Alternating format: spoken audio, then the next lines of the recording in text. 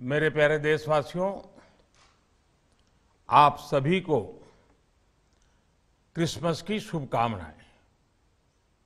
हम इस वर्ष के अंतिम सप्ताह में हैं। 2022 बस आने ही वाला है। आप सभी 2022 के स्वागत की तैयारी में जुटे हैं। लेकिन उत्साह और उमंग के साथ ही ये समय सचेत रहने का भी है। आज दुनिया के कई देशों में कोरोना के नए वेरिएंट ओमिक्रोन की वजह से संक्रमण बढ़ रहा है। भारत में भी कई लोगों के ओमिक्रॉन से संक्रमित होने का पता चला है। मैं आप सभी से आग्रह करूँगा कि पैनिक न करें। हाँ, सावधान रहे, सतर्क रहे। मास्क, उसका भरपूर उपयोग करें और हाथों को थोड़ी थोड़ी देर पर धुलना। इन बातों को हमें भूलना नहीं है। आज जब वायरस म्यूटेट हो रहा है तो हमारी चुनौतियों का सामना करने की ताकत और आत्मविश्वास भी मल्टीप्लाई हो रहा है। हमारी इनोवेटिव स्पिरिट भी बढ़ रही है। आज देश के पास 18 लाख आइसोलेशन बेड्स हैं, पाँच लाख ऑक्सीजन सपोर्टेड बेड्स हैं, एक लाख चालीस हज़ार आईसीयू बेड्स हैं, आईसीयू और नॉन आईसीयू बेड्स को मिला दें तो नब्बे हज़ार बेड्स विशेष तौर पर बच्चों के लिए भी हैं।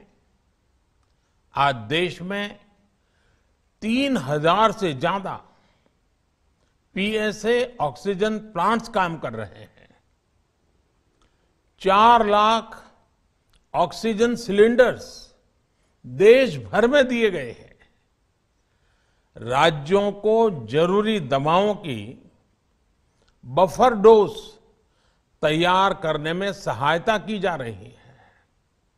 उन्हें पर्याप्त तो टेस्टिंग किट्स भी मुहैया कराई जा रही है। साथियों, कोरोना वैश्विक महामारी से लड़ाई का अब तक का अनुभव यही बताता है कि व्यक्तिगत स्तर पर सभी दिशा निर्देशों का पालन कोरोना से मुकाबले का बहुत बड़ा हथियार है।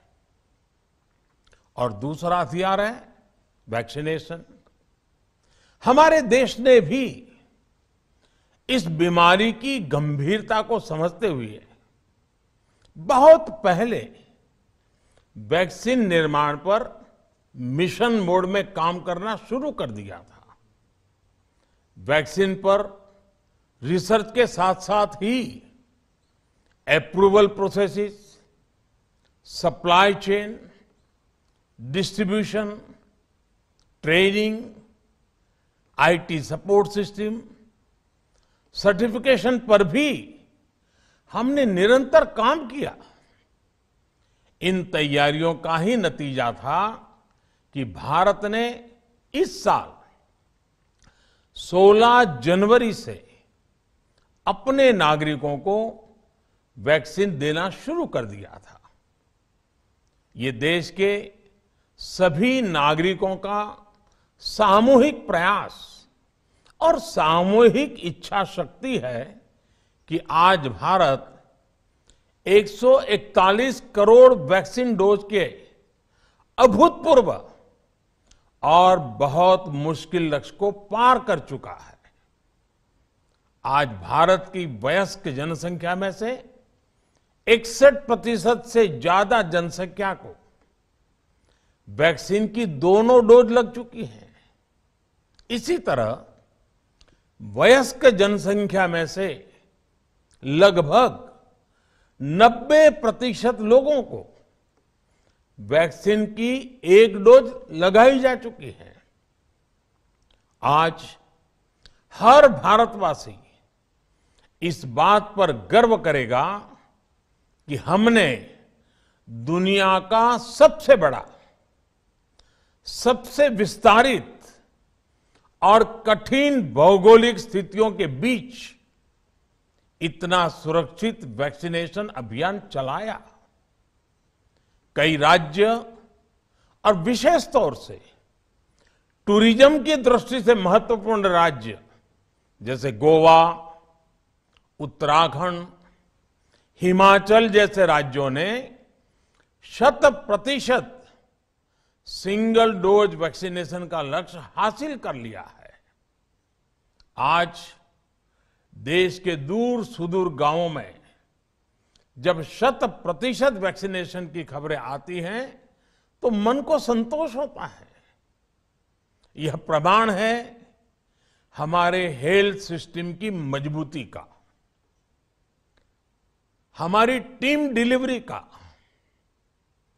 हमारे हेल्थ केयर वर्कर्स के डेडिकेशन और कमिटमेंट का, और देश के सामान्य मानवी के अनुशासन और विज्ञान में उनके विश्वास का, हमारे देश में जल्दी ही नेजल वैक्सीन और दुनिया की पहली डीएनए वैक्सीन भी शुरू होगी। साथियों, कोरोना के खिलाफ भारत की लड़ाई शुरू से ही वैज्ञानिक सिद्धांतों, वैज्ञानिक परामर्श और वैज्ञानिक पद्धति पर आधारित रही है।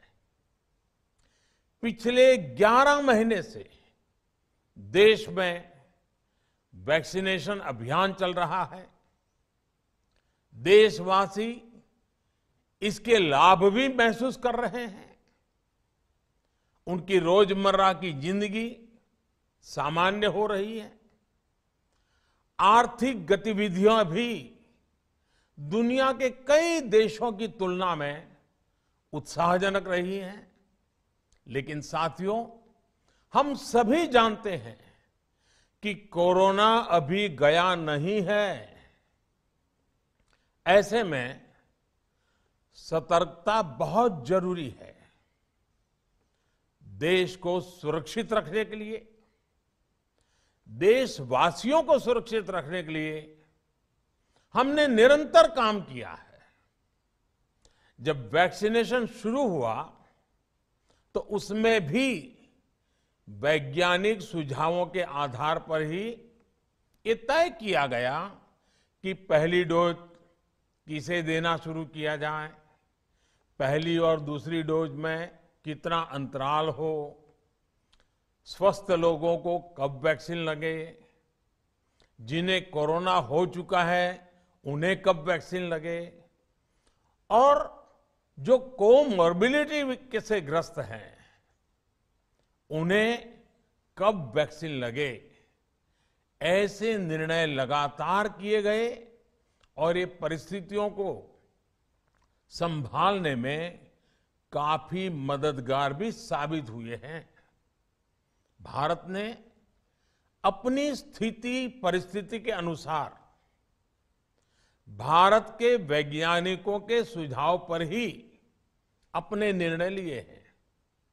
वर्तमान में ओमिक्रॉन की चर्चा जोरों पर चल रही है।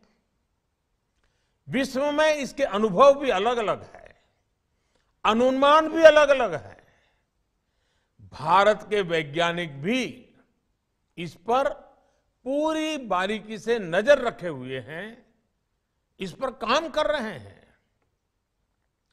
हमारे वैक्सीनेशन को आज जब 11 महीने पूरे हो चुके हैं तो सारी चीज़ों का वैज्ञानिकों ने जो अध्ययन किया है और विश्व भर के अनुभवों को देखते हुए आज कुछ निर्णय लिए गए हैं।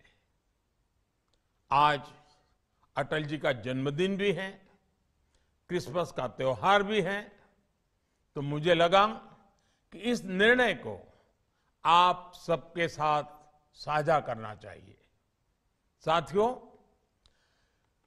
15 साल से 18 साल की आयु के बीच के जो बच्चे हैं, अब उनके लिए देश में वैक्सीनेशन प्रारंभ होगा।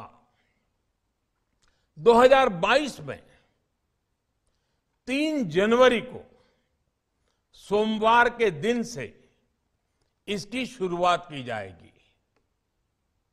ये फैसला कोरोना के खिलाफ देश की लड़ाई को तो मज़बूत करेगा ही।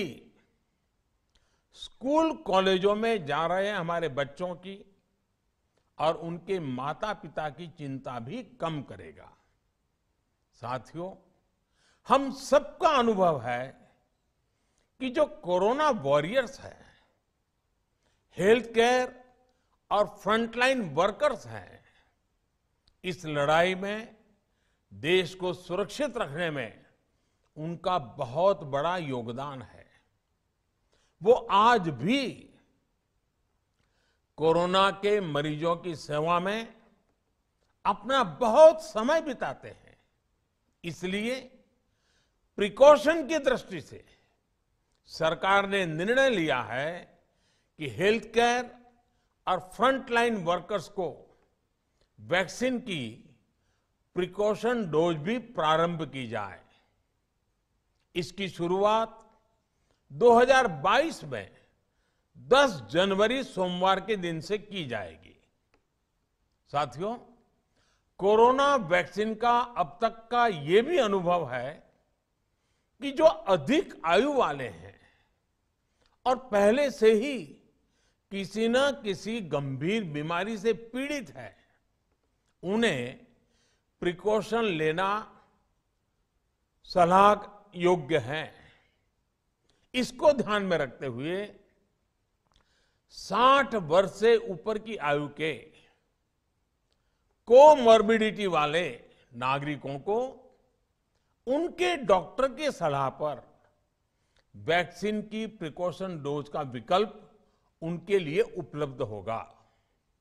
ये भी 10 जनवरी से प्रारंभ होगा। साथियों, मेरा एक आग्रह है